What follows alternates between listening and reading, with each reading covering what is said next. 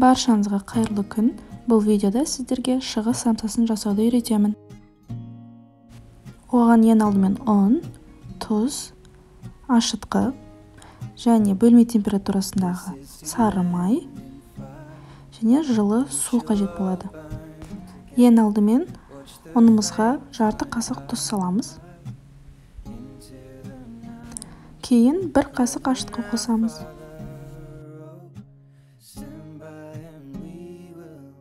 Егер сізде бөлме температурасындағы сары май болмаса онда оны бірінші водяная баняға ерітіп алып одан кейін кішкене суытқаннан кейін қолдансаңыз болады.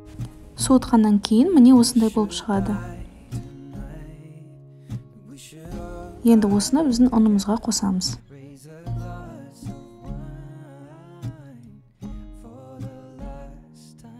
Суды қоспас бұрын осыларды бірінші араластырып аламыз. Шамамен осындай болғаннан кейін суды мөлшерлеп құямыз. Бірден барлық суды құйып жібермеңіздер. Қамырыңыз сулы болып кетуі мүмкін. Егер сулы болып кетсе кішкене ұн қосып жіберсеңіздер болады.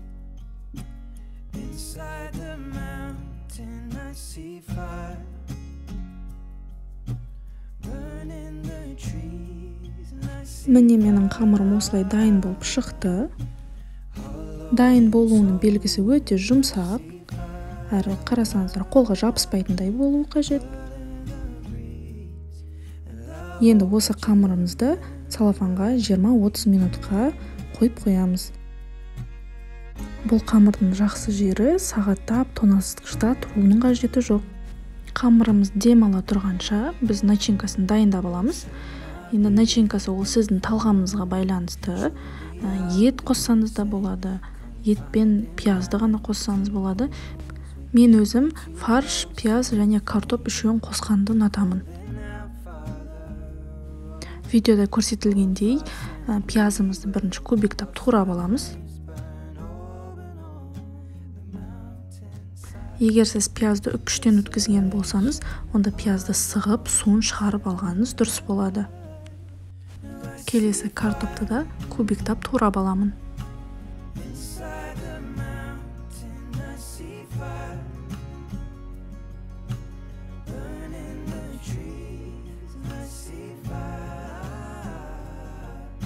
Міне біздің начинкамыз да дайын болды. Енді бұған бір қасық тұз. Және жарты қасық қара бұрыш қосамыз. Және барлығын жақсылап араластырамыз.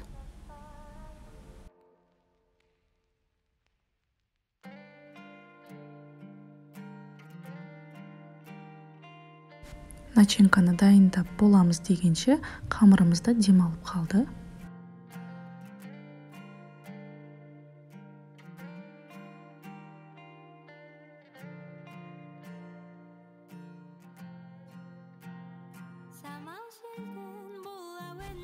Енді бұны шамамен 10-12 қамырға теңдей бөліп аламыз.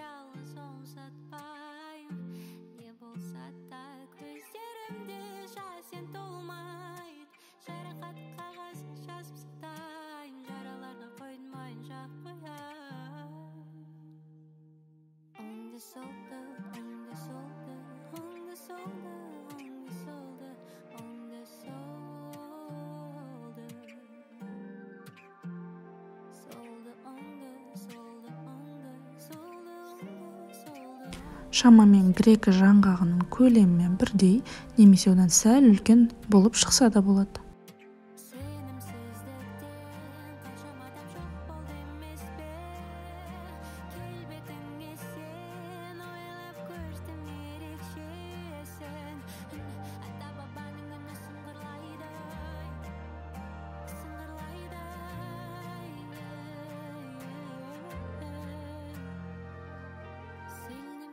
Кажется, ты устал, мой друг.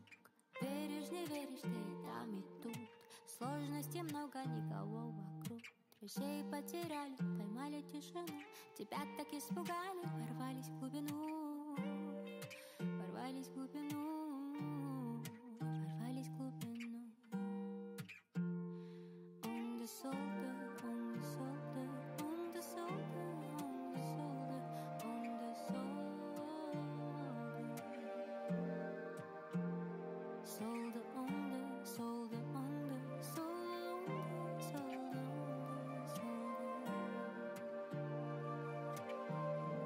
самсаны ораған жағымызды астына қаратып пергаментке қоямыз. Пергаментті майлаудың қажеті жоқ. Самсаның үстіне осылай сарыуыздарды жағып шықсақ болады.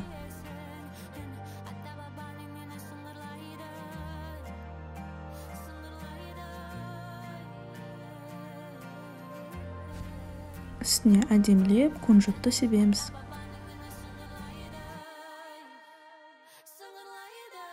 Екі жүз жиырма градуста ысып тұрған пешке жарты сағатқа қоямыз.